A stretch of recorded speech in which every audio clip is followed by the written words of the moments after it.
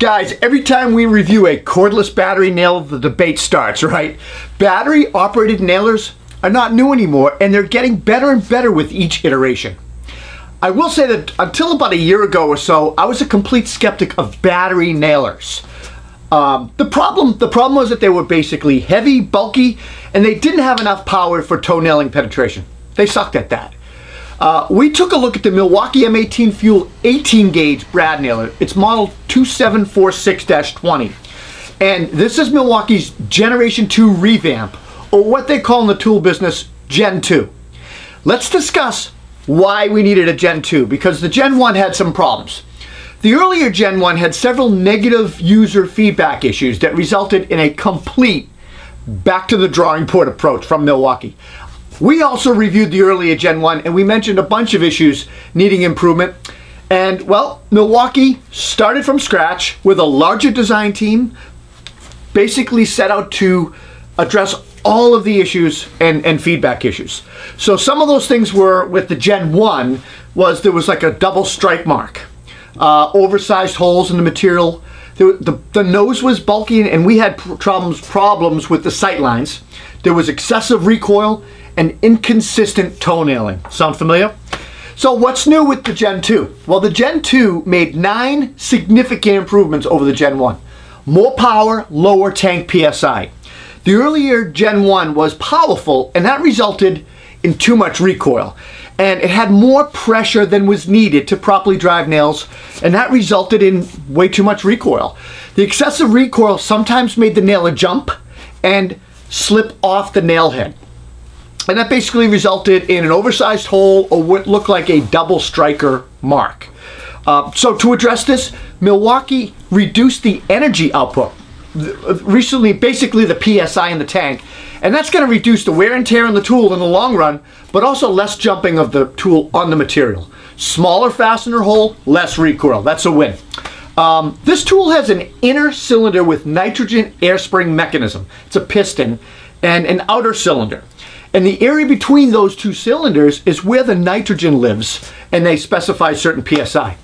So Milwaukee chose to use nitrogen over air because it's less likely, likely to result in condensation and corrosion of that tank. The, um, the reason the can fire so quickly is because the striker is always pulled back and ready to go in that tank. Once the trigger is pulled, the, the pressure in the tank fires the striker and piston forward to sink the nail. Once the firing sequence is completed, a motor spins a rack and pinion system, and that ratchets back and resets the firing pin. All right, what else did they do? They moved um, the depth adjustment. The Gen 1 depth adjustment was on the left side, interfered with user line of sight, was a problem. Milwaukee moved the adjustment from the left to the right, and they recessed it a bit. And this immediately improved the nailer's line of sight, at least for 85% of the population, right-handed users. Um, but the recessing of the depth adjustment further improved the line of sight for lefties as well. So don't, don't get scared. Um, the tool itself is more compact. The Gen 1 nailer, um, we, had, we noticed it had a really bulky nose and it was difficult to get into corners and tight spaces. Milwaukee significantly reduced the weight by one pound and the size of the Gen 2 nailer, making it more compact, lighter, and better accessible with an improved line of sight. Um, also, this reduction, this compact size stuff, made it much easier to toe nail. Um, they adjusted and changed out the contact bracket, the tip. The Gen 1, when we tested it, it was 3 16ths of an inch off center um, on the model that we tested, and it was a lot of play in that bracket. Milwaukee improved the contact bracket by reducing that play or wobble, call it whatever you want, and that improved fastener placement accuracy. I was able to place fasteners spot on and they basically just, they solved the issue. Um, the tool now comes with three contact tips, interchangeable contact tips that actually store on the magazine of the tool. There's a general purpose tip, a small tip, which I really liked, useful for profiles and molding, and a wing tip. Wingtip basically gives you more surface area to actuate the tool and is less likely to mar the wood and leave a little impression on softwoods. Also allows you profile no, um, nailing and able to get in certain angles you might not normally be able to. Um, they changed the angle of the battery. The battery orientation is angled. You can now sit it, the tool straight up on a battery pack. They relocated and enlarged the belt hook. Um, it's relocated to the front bottom battery area of the tool, enlarged it for, um, it obviously has better balance where its location is, but also it can hook easier now on tool belts. They increased runtime. That's a win. Um, they found that when they reduced the PSI in the cylinder tank, the, the, the tool drew less battery, uh, less energy off the 2 amp hour battery. And that's going to result in more runtime. For example, the Gen 1 installed 1200 fasteners on a 2 amp hour battery charge. Gen 2 does 1500, gives you 300 more. The magazine itself holds 110 nails and a fastener range from 5 eighths to 2 and an eighth inch.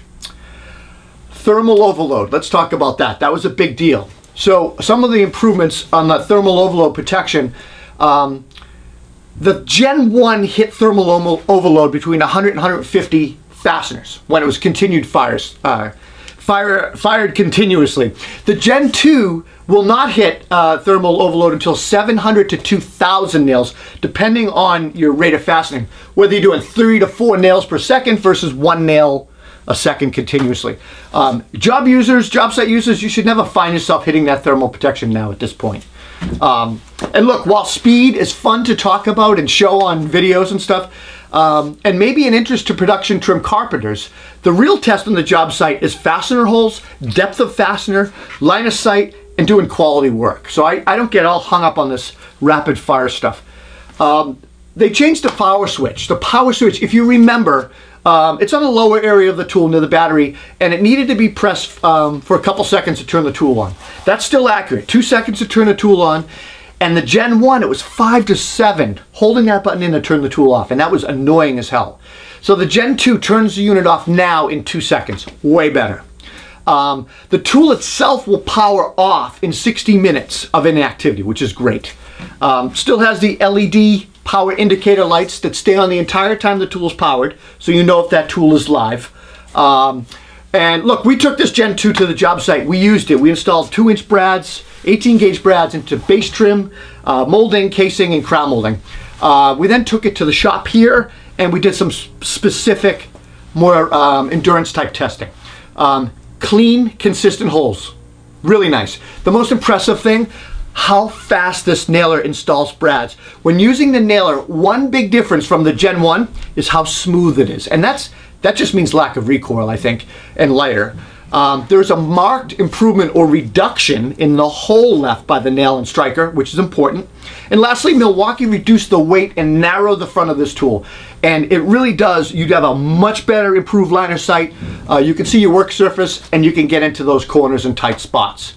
Um, I guess overall, the Gen 2 nailer, it nailed consistently at the desired uh, depth that we set it at. Um, it performed flawlessly on the job site, no jammed or misfired nails. Uh, we immediately noticed the zero ramp up time of the nailer, meaning that it, the tool does not pause to recharge itself. It places a nail as fast as I was able to accurately aim, set, and pull the trigger. And that's it. It's really that fast. And I can just keep doing that as fast as I can. The recoil is definitely smoother. I said that already. Um, look, we've been using this for a few days now on the job site, actually more than a week now, and we've had negative issues. Um, and in here, we tested it with oak, maple, poplar, plywood, cedar, spruce uh, lumber, and the results were the same. We had consistent depth, we had fast fastening with no jams, um, and really nice holes. That's important. Milwaukee took their time redesigning this Gen 2 and it shows. We didn't ex uh, experience any jams in our testing. And if you did get a jam, it's easy to clear. You just basically unlatch the jam latch at the top of the clip. You let the magazine down and open up. It's easy, toolless. Um, as far as power actuated nailing, um, it operates in, in, single sequential action as well as bump fire. Um, you can fire three to four nails a second. It is fast. Um, we fired it in both modes, and I, yeah, I was impressed with the speed. I mean, it's just you're you're able to install those fasteners super fast. I don't nail like that on a job site. I actually just pull the trigger once and set the nail move. As I mentioned before, the depth of drive adjustment has a new location. It's easy to operate and dial in, and it just rotates in. Um, there is a dry lock, dry lockout uh, when you get to four or five nails.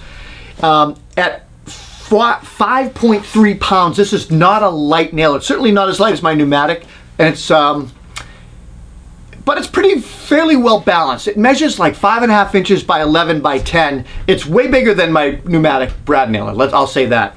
Um, you can buy the Gen 2 as a bare tool. It's going to be 279 kitted. It'll be 399. It'll come with a battery. Um, Gen 2 nailer by Milwaukee, they got this one right. They fixed it. We haven't found any room to improve on this nailer yet, um, unless they continue to reduce the weight and size. Having a battery operated brad nailer on a battery platform that we use just makes sense to us. Not having to worry about setup, a compressor, a hose, dealing with gas cartridges like when we use Paslode, um, fuel levels, gas cartridges, costs, all that stuff is a plus. The most impressive feature of this brad nailer is the rate of firing. And again, I was able to install fasteners at a decent rate of work with no disrupt disruption to my workflow. And like I said, I was skeptical at first of cordless battery nailers, but that's changed. We're currently using cordless battery only nailers 80% of the time on our remodeling jobs. The Gen 2 brad nailer, it's a nice tool that you should look at. And guys, the Toolbox Buzz crew and I, we're gonna take this nailer, this brad nailer, and we're gonna pit it up against the DeWalt, Metabo, HPT, Ridgid, and Makita in a head-to-head -head real soon. Should be fun, I can't wait to do it. And guys, if you enjoyed this video, please give us a thumbs up and please consider subscribing. We need your support. I'm Rob Robillard, and we'll see you next time here at Toolbox Buzz.